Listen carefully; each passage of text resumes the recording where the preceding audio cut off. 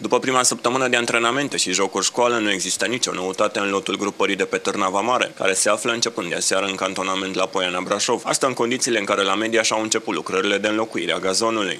Am avut uh, un trial, adică două de fapt, în săptămâna trecută la Mediaș, dar din păcate nu am avut uh, uh, niciun jucător care să rămână la noi.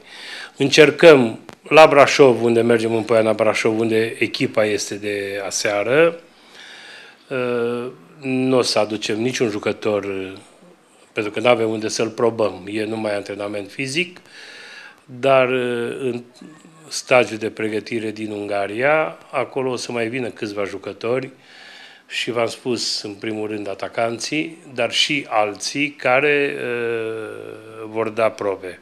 Gazmetan are în vizor un mijlocaș defensiv care ar putea semna mâine un contract cu gruparea de pe Târnava Mare. Mai este în vizor încă un mijlocaș, nu vă pot spune numele, pentru că numai mâine vom ști dacă îl luăm sau nu. Eu, ca să zic așa, o bătaie în ghilimele pentru el și ne l-am dorit să-l avem pentru că e un jucător foarte serios și pe care îl cunoaștem, nu mai e nevoie să dea probe de joc, dar asta vom decide mâine împreună cu Pustai și președintele, vom vedea dacă îl vom uh, înregimenta în lotul nostru și atunci cu certitudine că o să fiți primii care aflați acest lucru. Conform directorului general al clubului Gazmetan, nimeni nu va pleca cel puțin deocamdată de la echipă. Nu este nicio ofertă concretă pentru unul dintre jucători.